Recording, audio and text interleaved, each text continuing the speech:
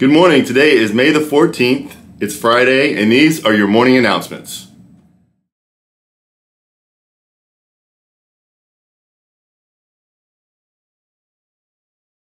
I pledge allegiance to the flag of the United States of America and to the republic for which it stands, one nation under God, indivisible, with liberty and justice for all. Please remain standing for a moment of silence.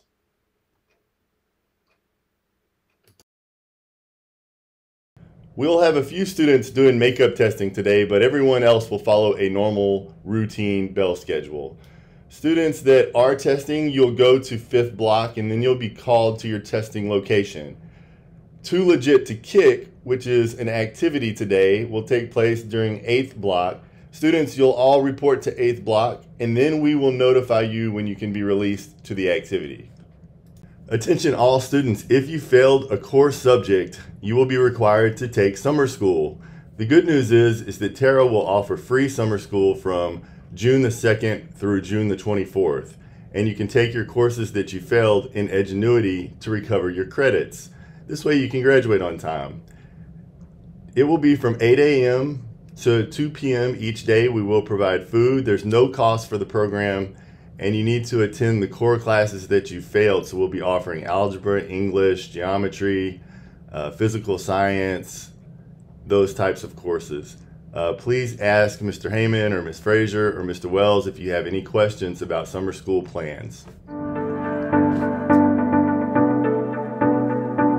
Yesterday at 10 a.m., several of our students went to the Louisiana State Capitol where they visited different organizations in the rotunda. They were recognized on the floor and they had some team building and leadership activities. Louisiana Gear Up is a federally funded program that really works on increasing the number of students that go to college and, and have access to good careers. So here's the final exam schedule for the week after next. Monday will be a regular schedule. Tuesday will be an early dismissal day, as will Wednesday and Thursday. Monday and Tuesday are when you will take your final exams. Wednesday and Thursday are makeups. Be sure you're turning in all your missing work and finishing your assignments. Return any books or any other checked out materials you have to the library. Make sure you keep your Chromebooks over the summer. You can also keep your Wacom tablets to use over the summer, or you can turn them in. Remember that fines will be assessed if you lose your Chromebook or tablet. The last day of school is May the 20th for non seniors. Graduation is May the 20th at 2 p.m. at Bethany. We do have a few athletic events. May the 12th, we have the spring football game at McKinley.